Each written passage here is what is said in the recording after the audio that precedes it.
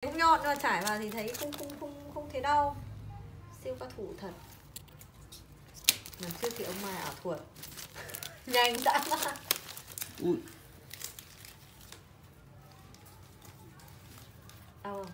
Cái này hơi nhọn này. Ý là nhọn này được nhưng mà em cho nó đỡ đau được tí. Nó đau à? tất nhiên là số lượng nhiều này thì không thể nào tránh khỏi được. Thì là mình cắm thẳng vào thì mới đau thôi Còn Ừ. phải bình thường Nếu mà tay mình phải vào thợ vào khách thì sẽ không không đến mức độ như mình cắm anh để anh thử xem một cái khác nữa xem này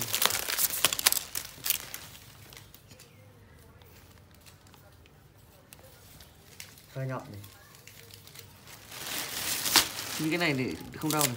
Em mà thực ra là chỉ cần tức là ấy thực ra em, em chỉ cần vậy làm như thế này là xong thôi vậy Như thế á, xong cái bên trong này nó lông với sông thực ra ấy, hai cái này là em mài y chang này nhưng mà một đường thôi ấy À. hai cái này thì độ nhọn thì anh thấy là cái này này thì nó đỡ đau hơn một tí này còn cái này hơi nhọn này. em thấy không nó Vâng. hơi nhọn đúng không Vâng. nó chỉ mất một vài răng thôi Đấy, cố gắng làm sao mà mình chả vẫn sông tóc nhưng mà nó không đau được thì số lượng nhiều cái này thì nó thật ra là cũng không thể nào cái nào cũng đều nhau được nó có cái này cái kia nhưng mà anh cứ nhắc vậy để cho bọn em mài cho nó nó nó chuẩn.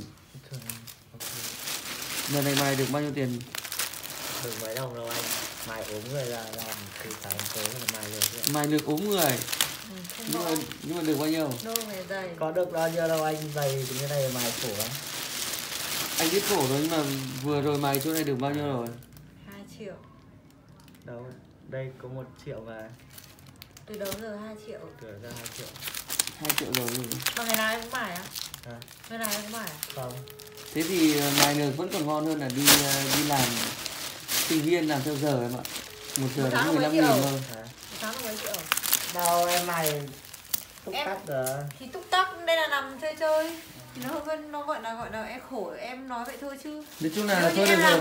nếu như cái công sức em bỏ ra À, thì Đúng thì- rồi, hơn thì hơn sinh viên đi làm thêm Sinh viên làm một giờ có 15 20 nghìn. 15 20 nghìn. Em làm một giờ em được phải được trăm nghìn đúng không Tầm đấy. Phải tám chục một trăm. Nhưng mà phải trăm cơ Không trăm thì có trăm nghìn đấy. Nói chung là Nên cũng anh Hiếu kìa. cố gắng. Triệu Anh Hiếu thì đẳng cấp rồi. Còn mấy thằng kia không đẳng cấp thì 3 triệu 4 triệu. Cố gắng mài Hiếu chị giao được cho một cái mùa cô